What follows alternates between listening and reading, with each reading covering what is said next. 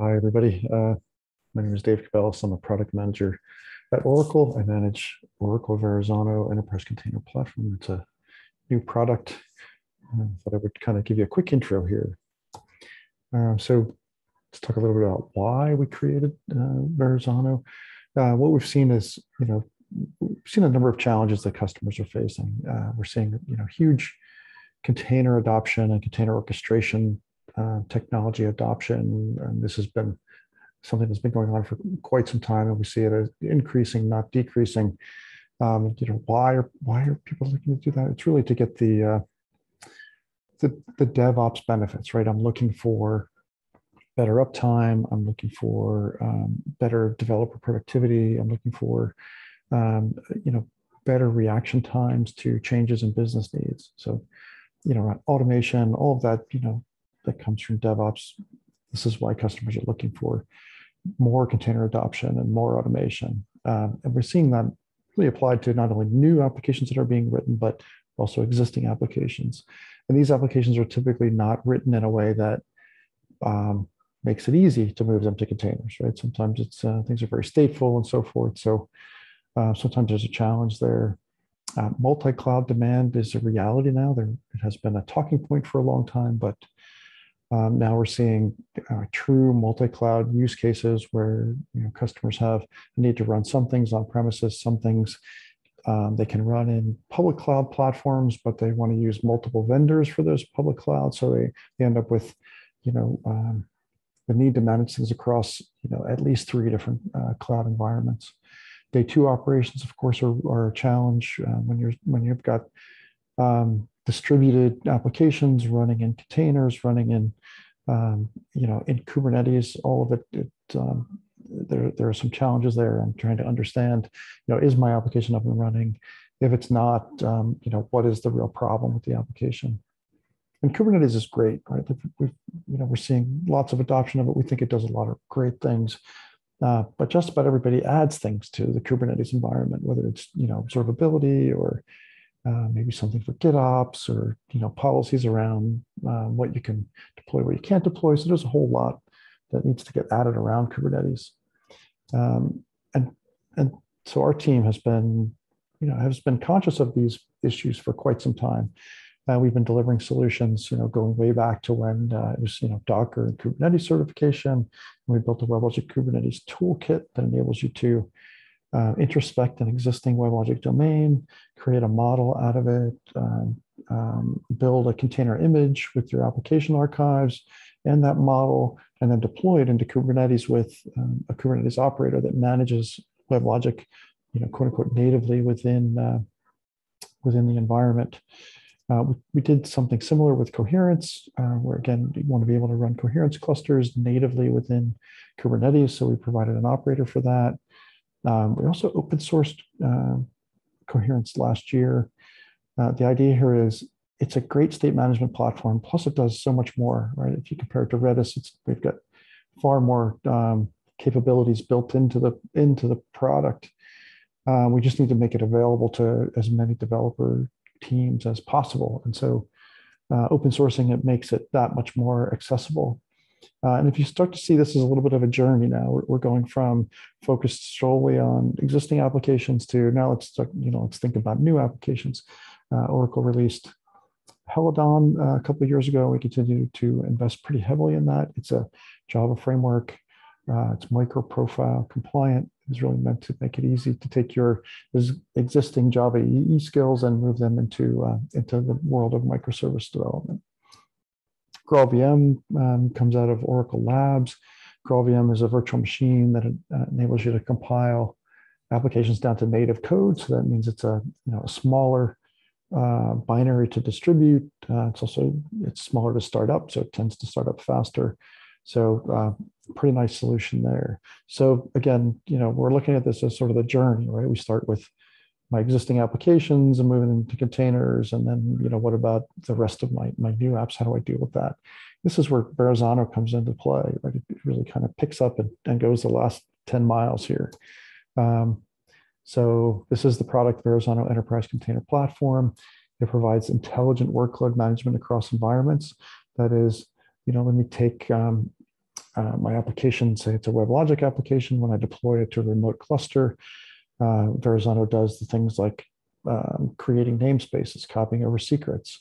Uh, it deploys the WebLogic operator that's needed. It passes the custom resource to that operator.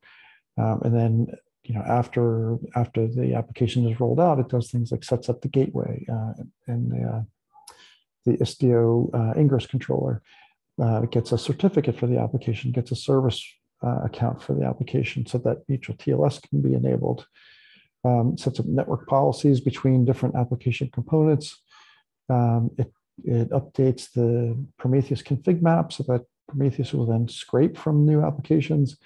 Um, and then we also, we have FluentD deployed throughout the cluster. So we automatically capture uh, the log records from your application, right? So again, it's like, what does this application need? Where does it need to go? And now let me do the heavy lifting, right? Um, application lifecycle management is also uh, a differentiator here.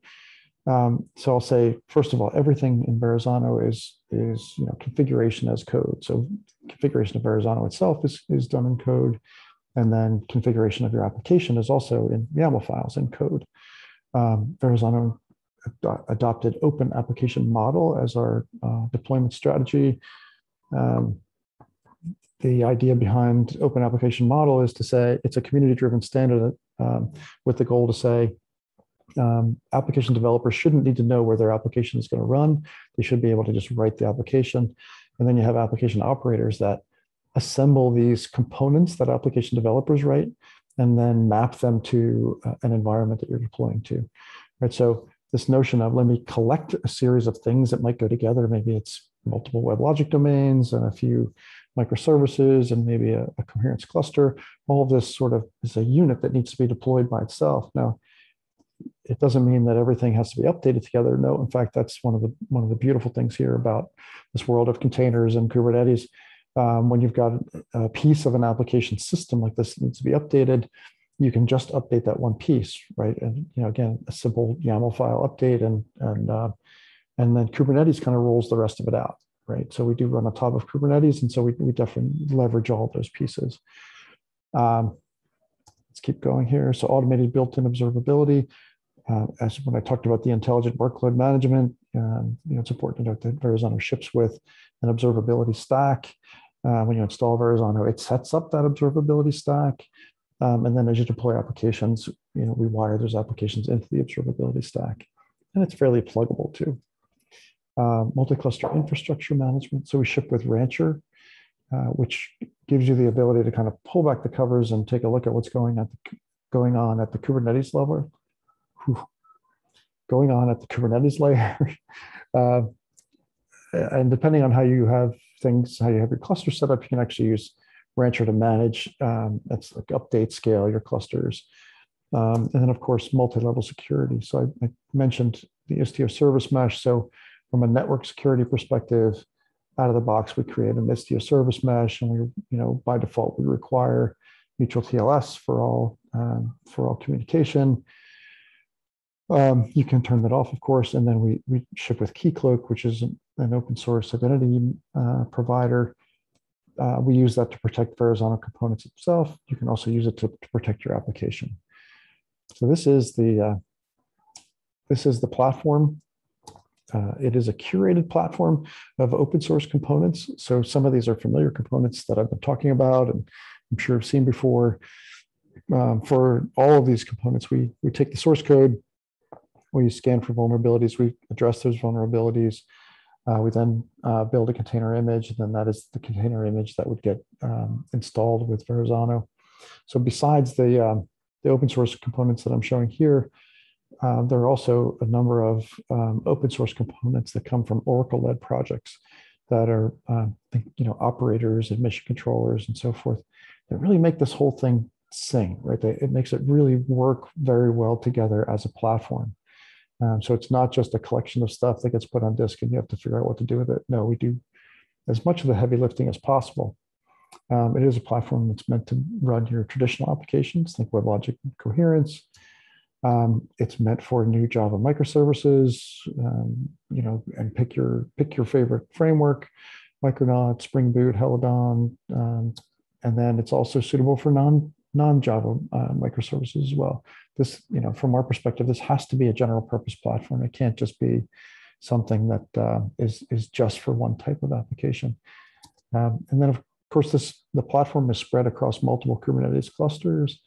Those clusters can be um, on premises in a private cloud, can be in Oracle Cloud, can be in other um, clouds from from other vendors.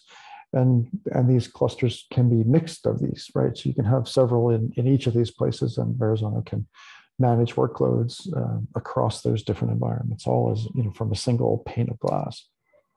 Uh, quick summary here right it's like you know why is Verrazzano important enables you to accelerate app development uh, productivity and innovation enables you to modernize your existing applications and enables you to realize cloud native benefits without vendor lock-in. Um, so again, cloud neutral approach. Um, the product is available as an annual subscription. Um, it is a, a bundle product that includes this container management platform I've been talking about. It includes Coherence Enterprise Edition, and it includes um, Oracle support for Java frameworks. Uh, and these particular frameworks are Helidon, Micronaut, and Spring Boot. Uh, we also include Verrazzano in Oracle WebLogic Suite. Uh, I do want to take a quick show you and show you in open source where this is. Um, if you go to GitHub slash Verrazzano, this is where all of the different um, open source components are either assembled or or authored. Right? Um, so there's a you know quite a few projects here. Um, and if you go to the main project, we also have a series of examples that you can run. Um, and there are you know multiple different types. This uh, um, um, a relatively complex example with WebLogic, Helidon, and Coherence. Um, we have some simple Helidon. We've got a an industry standard um, uh, example, a Spring Boot example. This is another WebLogic example. So um, lots of good stuff there. You go back to slides. Um, and this is really next steps is, is um, you know, go give it a shot, right? you can set it up pretty easily in, uh, if, if you got access to a, a, regular Kubernetes cluster, or you can set up Minikube or Kind. Um, we've got, like I, I, just showed those examples. Uh, there's lots to do there. Um, and you'll see how just how easy this is. Um, check out our videos, uh, docs. Of course, join our Slack channel. So um, we have a public Slack channel uh, where we interact with with the world. Um, happy we have you know people monitoring that Slack channel all the time. So uh, we'd love to hear from you, and of course follow us on Twitter. All right, that's it for now. Thanks very much.